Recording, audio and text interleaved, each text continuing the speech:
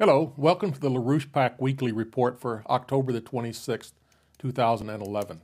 I'm John Hoefle, and with me in the studio today are Diane Sare, one of our national slate of candidates from New Jersey, Sky Shields from the basement, and Lyndon LaRouche. Uh, good morning, Lyn. Good morning.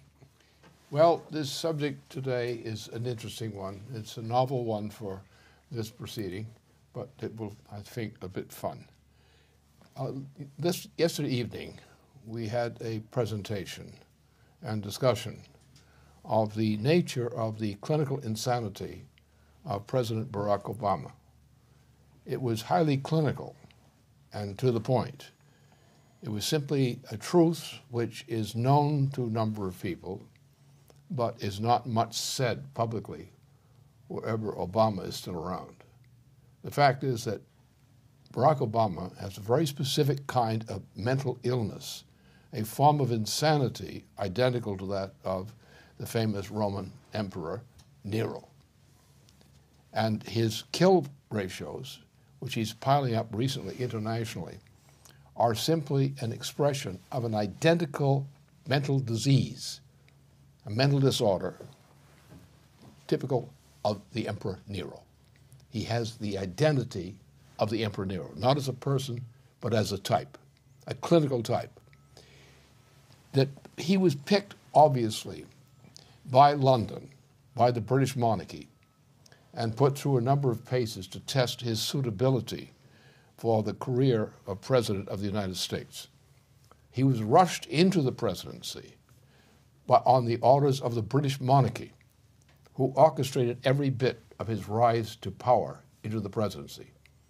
He was actually funded from London by the British monarchy, which is how he was funded, and so forth and so on. Everything that he has become, including the mass murderer he's become internationally, was already programmed into him before he was chosen to become the President of the United States by the British monarchy. His, his kill ratio is now about to increase. And if you read the life, the true life of the Emperor Nero, you have an exact track of the personality of President Obama. You also have, unfortunately, a track of the U.S. citizens who will not take seriously the need to throw this guy out of government on the grounds of clinical insanity under Section 4 of the 25th Amendment. He is the hottest case of that type on record since the Emperor Nero. There have been other people of similar dispositions, but he is the worst. And if the American people continue to be so stupid that they don't cause him to be thrown out of office, they brought it on themselves, and they brought it also upon the innocent who are going to be, suffer as a result of their tolerating and supporting this president.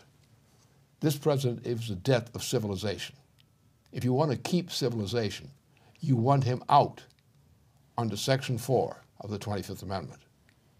He could be also thrown out for a number of other reasons, reasons of tantamount to treason as political crimes against the United States.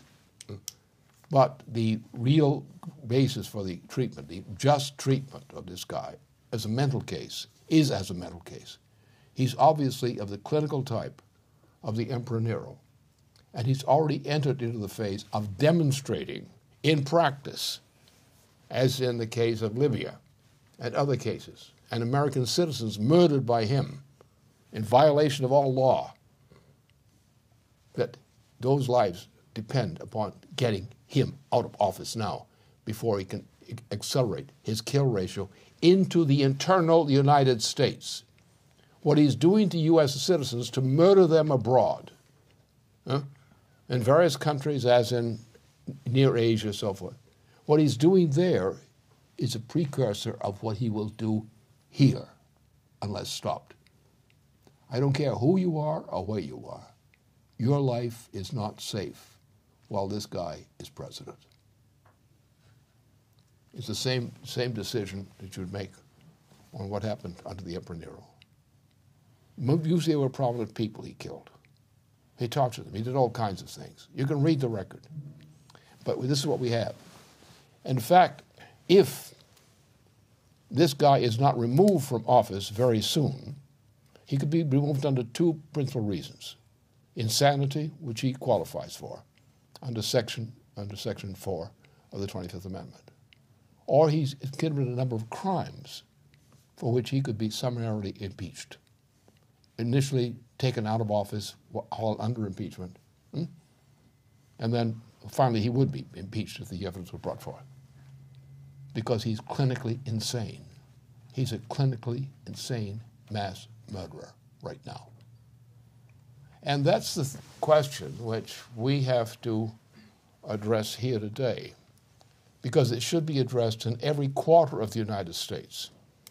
He should be thrown out by the general opinion of the citizens of the United States who prefer not to be murdered. And we don't know who they are, nor do they, but it could be anyone. Next. And you see in his declaration that he says Congress isn't fast enough to do the things he wants them to do. And therefore, he's going to take it upon himself to make all those decisions that the Congress refused to decline to take up. What are you talking about? You're talking about a, self proclaimed dictator. His very existence in the presidency is a violation of law, a violation of our Constitution. And anybody who condones him is, is culpable for con- contributing to his criminality or the exercise of his criminality. Therefore, the time has come to call the alarm. This guy goes out of office now, preferably on a summarily suspended from the presidency under Section 4 of the 25th Amendment. That would be the straightforward way. However, the danger is so great that, that the articles of impeachment must be brought forward at the same time. And we can put him out of office on both counts. He's violated the law He's violated it massively. He's betrayed his, he's betrayed his oath of office, if it ever did mean anything to him. But the thing you have to understand about this man is he was the type he is, that is, of an American Nero, Emperor Nero.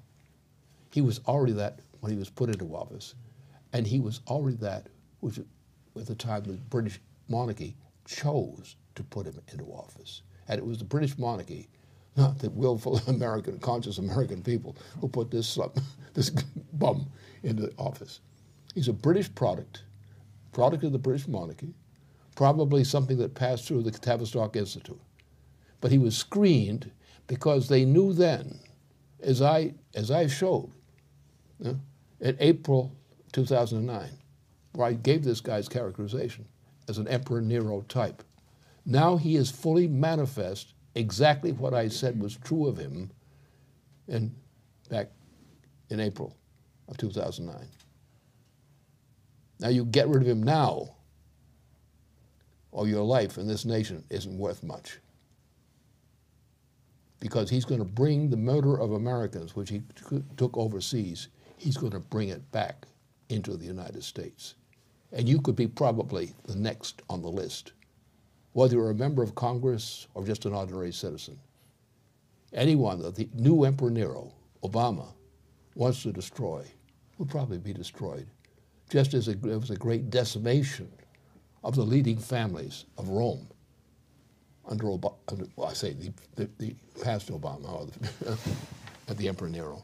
And that's the question we have to consider, and the question the American people have to consider.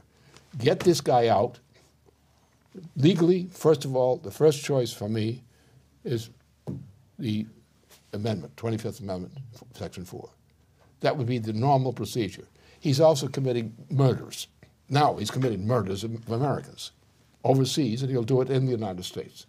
And you may be next. The one remedy is go give him on both counts. He's impeachable for crimes he's committed, including these murders which he's perpetrated overseas. He's also impeachable because of his specific crime his, and his specific men, mental disease. He's impeachable on both counts. The point is, the essence of the matter is speed. Well, I think what you were talking about last night, which I found some really jarring.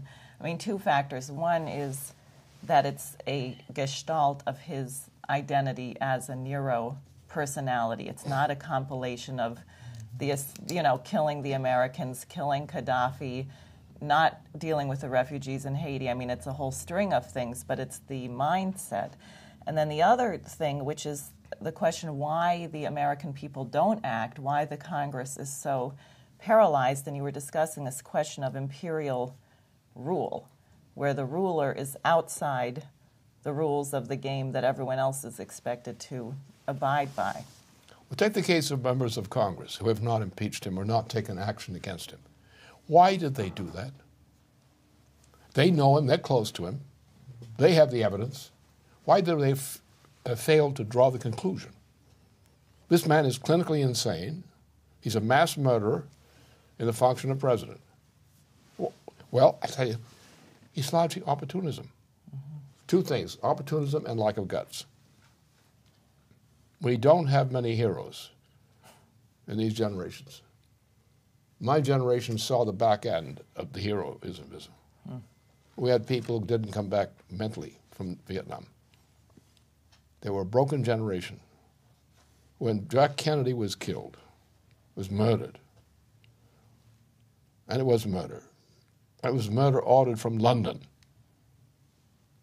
They took out, look what they did to the Kennedys. They took out Jack Kennedy.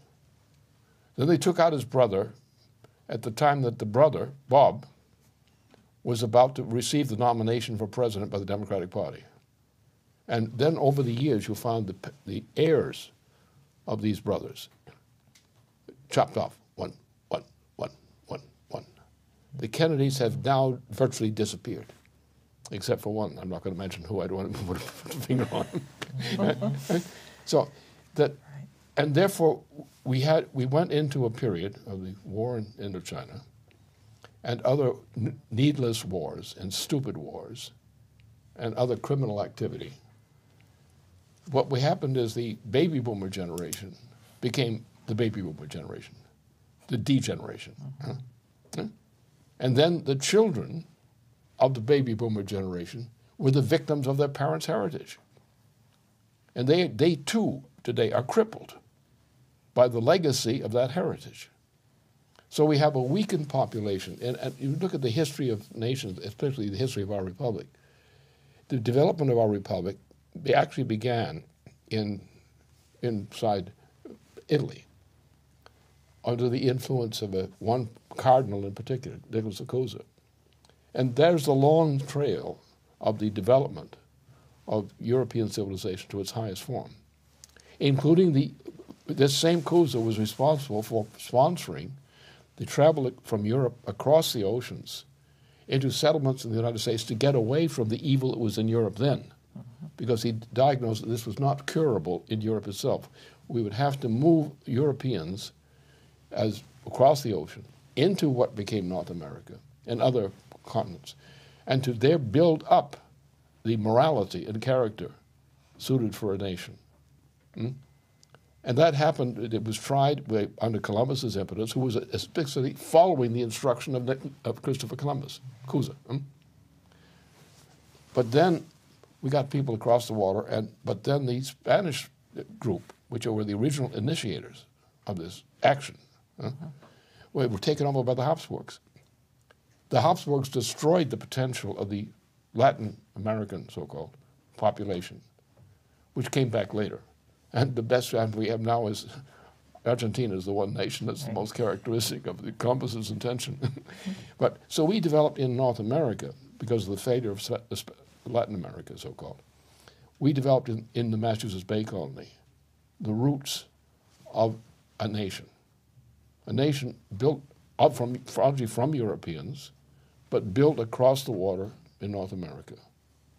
And we had, we're beginning with the Massachusetts Bay Colony before it was crushed by the British. By the, uh, it became the le- center of generations. I, mean, I had an ancestor who was one of the first landers on the Mayflower. Uh, some, some, people have that distinction. Lots of people have that distinction, actually. Uh, I, we developed there from the May- Mayflower landing and the Massachusetts Bay founding. We developed the nucleus of what became the United States with the nucleus of what had been intended by Nicholas of Cusa. So we had generation after generation of Americans, those who immigrated from Europe, others who began, built up the possibility of mobilizing a nation here to free Europe itself from the inherent corruption of Europe, which persists to the present day. The problems of Europe today, especially Western and Central Europe, are, are rooted in the failure huh, of Europe to meet this challenge. The same challenge which Nicholas of Cusa had recognized. We've got to cross the water to get away from this crazy Venetian system control. So we had always had in the United States a continuity up until the Kennedy assassination, a continuity of the American tradition, which was specifically a European tradition brought into the United States, or what became the United States.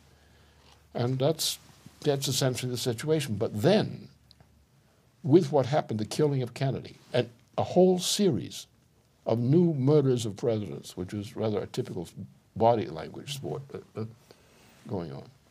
And so, therefore, we lost a generation.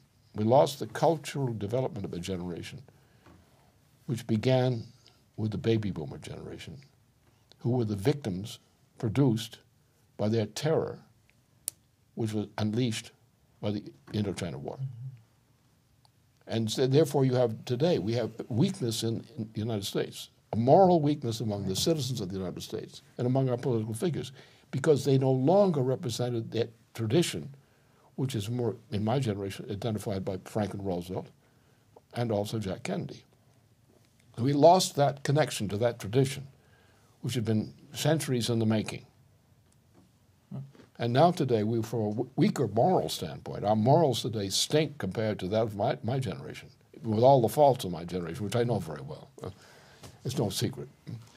But we lost that, and we have, with a, from a weaker standpoint in terms of uh, population, much weaker moral character of the, of the population of the United States today than we had before. Right. Well, it's a big paradox because you have Obama, the dictator, and then you have a culture which says we're against authoritarian personalities. But it is the Like, authoritarian. uh, Right. Yeah. No, And the so- cowardice you get from these guys right now. It's funny. It's a paradoxical cowardice because it's not even. It's not as though it's cowardice for the sake of cowardice because this is not something that's going to save them. Right. You can imagine there might be some kind of intelligent cowardice that helps you avoid danger, but this is not. This is deer in the headlights kind of cowardice. Exactly. This is they're going to get run down no matter what, but they refuse to move because of tradition. They're trained not to respond to a situation. I mean, you take the difference between, like, as you described, you were able to, in 2009, forecast the character of what Obama was going to become. Well, he was already that. Exactly. It wasn't because it was there. It's not a question of waiting until the crime happens and then describing it. Like people are sort of immersed in the horror of the situation right now, when really removing Obama right now, his crimes he's already committed, there would be a pretext, but you're removing him because of the crimes that he's going to commit. Exactly. That's inevitable that he's going to commit because that's in his character. It's possible to act with respect to the future in that way. This is not something. This isn't dominoes unfolding because of an event causing another event causing another event. There's there's an intention there. Criminal insanity. Exactly. Um, Yeah, already it, built into it. Right. and our response is to have a real human intention in response. That's what you're. That's what you're. You're Yeah. counterposing to it. Yeah. Not counterposing some action to another action. You're not counterposing an action to an event. No, our thing is is the is the people of the world, and the people of the United States in particular. That's our responsibility. We must protect them from oncoming menace. And the entire population of the United States is now threatened by an evil menace coming out of London, huh, which has taken over the presidency of the United States, along with the weakness and corruption of many of our members of Congress. They're actually stinking cowards. When faced with this issue, they become stinking cowards. They will say, well, maybe it will escape me. Maybe I will escape the plague. Huh? The blood on the door. Huh? Maybe the blood is not on my door. They hope that the blood is not on their door, that they were not going to be the ones to die in the next cycle. And they lack the moral ability to mobilize themselves to say, I'm a human being. Therefore, since I am a human being, I have to protect the human species. I have to protect it against this evil. And now the other thing I, men- I mentioned, I mentioned extension last night, is Obama was the killer he manifests himself to be and more. Right. He was the, he was the Emperor Nero already at the time he became president. and even before then. He was a created entity, created by the British monarchy. And when you look at the fact that he, this man has done nothing which goes out of the uh, pattern of his characteristic behavior at the time he became president, you can see it already in his presidential campaign, initially. This man was a menace to civilization. He was crafted by that with the approval of the British monarchy. He was shipped into the United States and given the votes by corruption, by unlawful corruption, to become president huh, by the British monarchy. And everything he's done, the, the fact is what I said on, in April of, of 2009. I said exactly what it is he was, and that is what he is, and that's what he was then. He was already a mass murderer at the time he was in the presidency. He manifested that perfectly in terms of what I looked at in April of 2009. Everything I said about this man has come true. Everything I'm saying about his character will come true unless he's stopped. It's important to realize that that's the way the people who shape history operate in those terms. You made it clear that you were able to recognize that. Anybody else who said they're going to wait until he committed a crime was a fool because they sat back and waited until, you know, you wait till the damage is He committed, done. he committed a crime under British money, British funding, and British direction. He committed the fraud of securing his election as President of the United States. It was done by a fraud. And people went along with it. And those who went along with his uh, certifying his election were the first criminals in the act. But the other point is there's nothing that he has done or is about to do that was not built into his character before the time he became president. In the time he was being groomed, this was the intention. They recognized that this that this potential was there in him. They, I don't know about the grooming. Grooming can mean a number of things. This thing, this insanity, which the British exploited in shipping him into the United States as their, their puppet, huh, mm-hmm. was already there. Okay, right, right. It was not something that was conditioned by that. It was already there. What all the British did in this, and I, I contest to this officially because I did describe this man's behavior, present behavior Yeah, right. precisely in April of 2009. Everything I said was true and is now proven true. He is exactly now what I knew him to be back then. Mm-hmm. So the, this is the nature of the thing. This man is a pathological character, a homicidal killer of the Nero type. And if you take the Emperor Nero's profile, take his profile from his uh, accession to the, to the emperor, position of emperor, and tell his death, his suicide, death by suicide, you have an image of the exact internal personality of the Emperor Nero, i.e., Obama. And if we let him stay in office without impeachment now, and all those senators and others who refuse to have him impeached and thrown out of office are actually guilty of accomplices of a major crime against the people of the United States. And they've got to cut that crap out right now. They've got to get real and become citizens of the United States in truth again. Become patriots in truth again. Get this guy out of harm. Put him someplace where he can be an exhibit to future psychologists and psychiatrists who want to understand insanity. And they can keep him in a clinic someplace safely guarded and find out all the wh- whethers and whens of his insanity. Because this man is a clinically insane mass murderer. Period. Mm-hmm. I He, I knew he was then in April. I was right on every point I made. He is that now, and if he's not removed from office, a lot of our American people are going to be removed from office suddenly. No, that's what makes it so terrifying where you have all these people who say, well, we're Democrats. So we have to support him because he's a Democrat. Uh, they, they, I think part of it is hysterical denial about the disintegration of the transatlantic system because I can't imagine facing the fact that the system is finished and allowing even a mediocrity to be president, let alone a lunatic. You got to look at blame. You've got to blame the immorality of the majority of our population.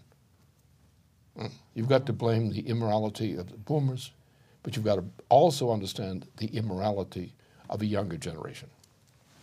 It is the immorality of a younger generation which is built upon the immorality of the boomers. which allowed this kind of corruption of our society to, to occur. And the fact that th- there were so few people who had the guts to tell the truth about this guy. I mean, I've known the truth about it for a long time, particularly when I d- did this study on his entry of the presidency.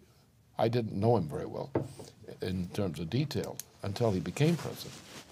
I saw some horrible things, signs from him, warning signs, when his, his presidential campaign. The man was a thug, an immoral thug. And he was based, supported by the drug, international drug pushers. That's where his money came from, mm, from similar people. And he was, he was diagnosable as being a problem then. He should never have become president. He should never have been allowed to become president. The evidence was already there that he should not become president. But they capitulated. And now they've got it. Now we've got the point, if we don't get rid of him now, civilization may go. Because the effect of an American president being a Nero can bring down civilization. It brings down a kind of hysteria which destroys civilization. Put this guy in, in custody, put him in safety and protection. He's a precious he's a precious asset. He's an animal, one of the living animals of the of the dead Nero. Nero's not around to tease anymore. Right. Now, but you've got the perfect replica, replica of, of Nero in the form of this president. And we should keep him in a safe place where we can examine all his peculiarities, clinical peculiarities, and make sure we don't get another one of those things coming in. And he can perform a service for the remainder of his life of showing us what a real nut is. Jurassic Park for Roman emperors. Yeah, right. exactly.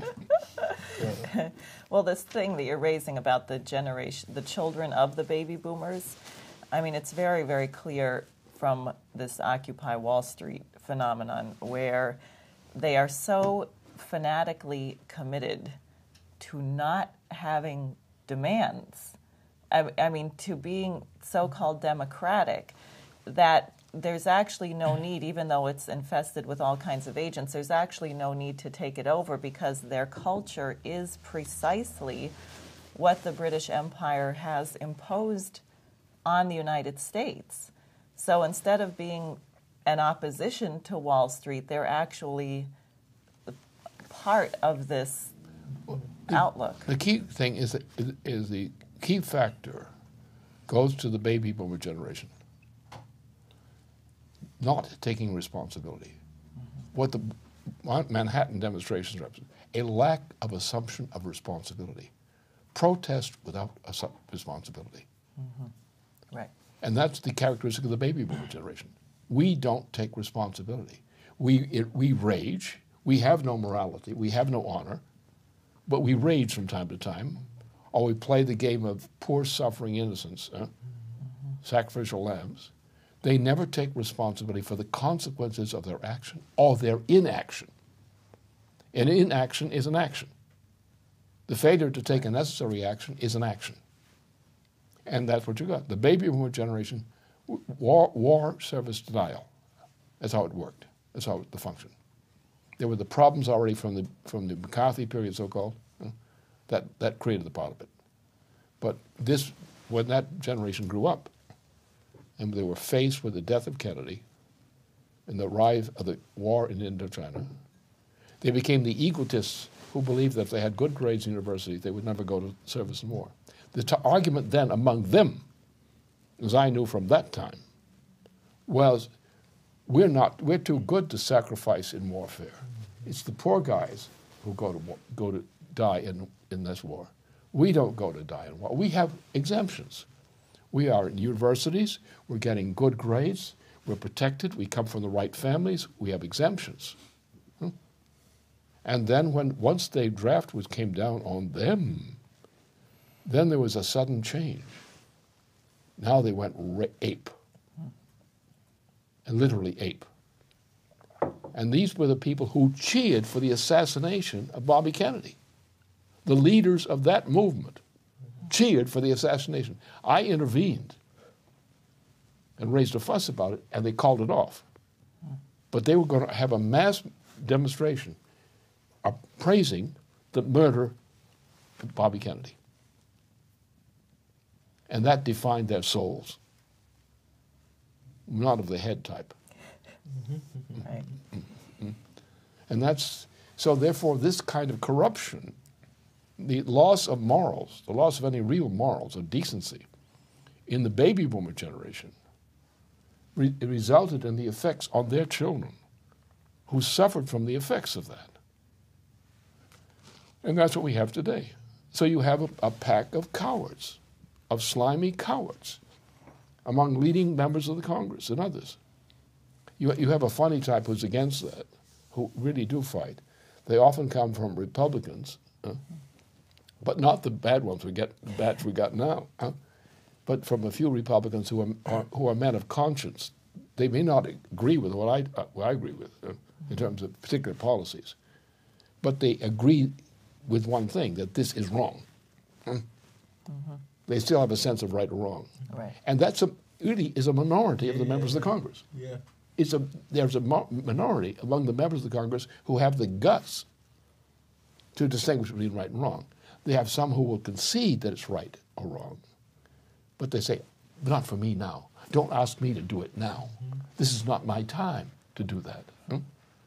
And what you run into in the field. Yeah. Right?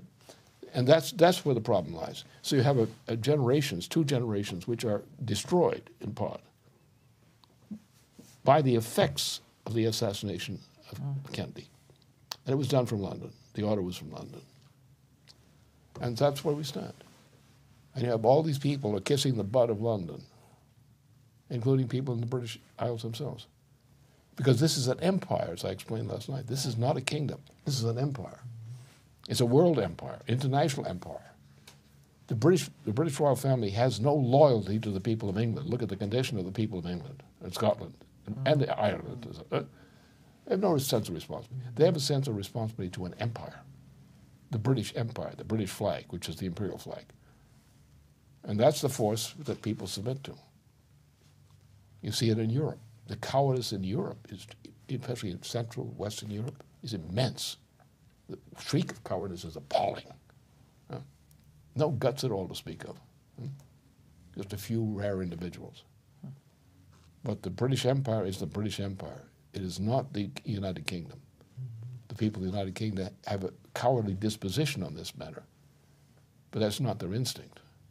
The instinct lies with the emperor, with the, with the queen in this case, or what's associated with her. That's the force. That's the murderous force. And Obama is nothing but a tool of the British Empire. Maybe we could ship him there. Mm-hmm. Except the empire's rather large, despite the rumors. yeah, better than bringing the empire here. Yeah, exactly. there. Yeah. That, but that's the point. Uh, I think we ship him to the center. I think the center of the empire is somewhere within in the Atlantic Ocean. So. I don't know where it is. I, it, I think it's in hell, actually. they send an ambassador from hell into the, occupy this monarchy. No, but it underscores the necessity to act on this process. That if we're going to act on it, we to act on it from above and as though from the outside. You're not going to treat the thing from the inside. There's some necessary steps that have to be taken, but from the standpoint of how do you shape the whole human species, not from the standpoint of how do you act on any existing system now and this is what you've been discussing with what what actually is the ontology of a credit system, mm-hmm. not not the simple. There, there are, are, policy measures connected with it, and those are real, and those you have to understand, and those you have to put into place for it to exist. But the real question is, well, what is the human species such that we can act in the universe effectively? And that's a, that's a scientific question, actually. Mm-hmm. It's the nature of what, uh, what creativity is. And it's also the question of time. If you don't, if you believe in clock time as reality, you are not mentally qualified to understand history or understand society. Because time is actually to be measured in real time, in physical time, rather than clock time. Is to be measured in the succession, or by credit system, by the succession of contributions to advances in mankind's ability to deal with the challenges of the universe. Hmm? And so successive generations go through a revolution in the discovery of scientific principles and similar principles. And these principles change mankind's nature, which is why they're principles. You, actually are, sort of genetically, intellectually, yeah. genetically redefining the human species to go from a lower state of development to a higher quality of existence. Hmm? And that, so therefore, it's this, these processes of advances as by scientific advances, discoveries, that these advances define the change not within the nature of mankind, but in the nature of what mankind's development is. So that you get successive generations who have ideas and capabilities that previous generations had not acquired. Right. Right? So you, you could measure time, economic time, has to be measured in terms of these evolutions. Right. Now, this is a voluntary process, and no animal is able to change its species. But what human beings do, by making discoveries of physical principles and applying them, they actually transform themselves, even though they're still human beings, in such a way that they go to a higher form of life, mm-hmm. where animals can't do that. We have a voluntary intellectual capability. Therefore, our clock should be based on mankind's ability to progress Right. in these terms. Huh? And in that trend lines mean nothing in that process. You Exact- can't project anything from a current state into a future state linearly. No, you that's that's, a, that's the whole point. So mankind is a creative being. Not that we cr- we don't create ourselves biology biologically in biological form. The biological form still more or less exists independently of our cultural forms, but it's the cultural form of, of development to successively higher states of existence.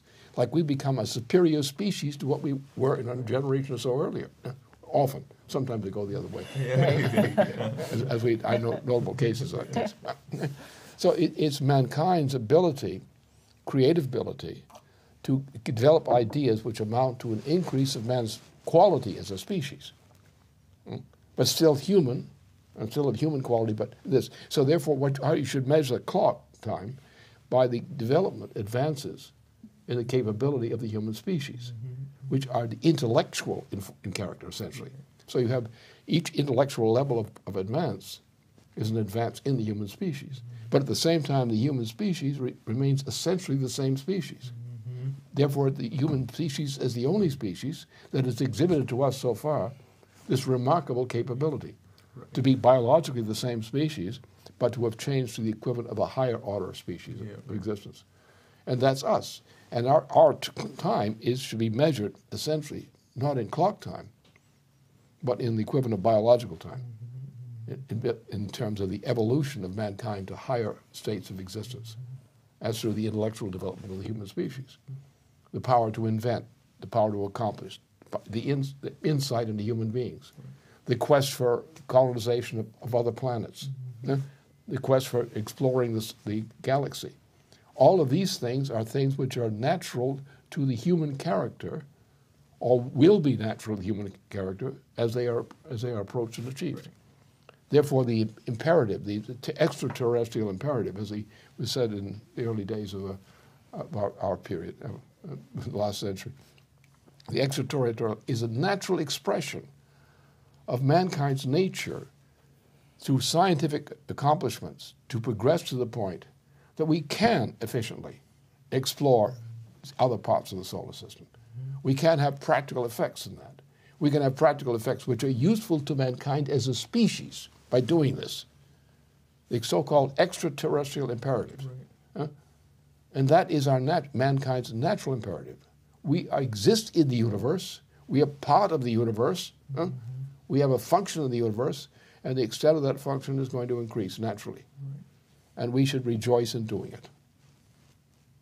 Because it's our, it's our nature, our special nature for scientific and equipment progress, is the essential human nature. Anything else is inhuman. right. Anything to the contrary is inhuman. And the, the real crime of the assault on nuclear power is precisely this that the empire set out to destroy nuclear power as a way of interrupting this process. And also of destroying the human species, Yeah. reducing it. The intention, look, the, the British Empire, the British monarchy itself, in its assembled family, held a series of meetings in England among their type. huh? And they proclaimed that the population of the planet, the human population, must be promptly reduced from the order of 7 billion pe- persons to less than one. And that is the current policy of the British Empire. And that is the policy which the British Empire reflects perfectly in the President of Obama. That's his intention. He's a beast, not a man. He's a beast because he's been turned into a beast by the British who own him or bred him. you say saying it's a rigorous definition. That's not an insult. That's a that's a rigorous because you define human by what behaves as human. That process of development, of the success of higher and higher levels of development, that's human. That's right. Nothing else is human. Right. So what, we, what happens is we can get under this influence, we can get the extinction of the human species. Right. And tolerating Obama is constitutes a threat to the human species existence. I don't think there's much worse crime than that. This man has to be removed from office by conscience-stricken officials now. I would recommend strongly the fourth condition of the 25th Amendment. I would also recommend impeachment on grounds of criminality, violation of law. It's a complementary. But these two measures have to be set forth and, and acted upon now. Those who refuse to do this may be guilty of themselves of complicity in crime against the human species. I want to know how many people have the guts to do that, to put that, with what that necessary step on. How many people lack the guts to do that? How many people in high places lack the guts to do that? And you know, in my eyes, they are very shameful creatures. I regret having to call them human because they are doing nothing which is in, actually in the human interest. It's time that the truth were told and the bitter words were said. Because that's the only way the truth will come out.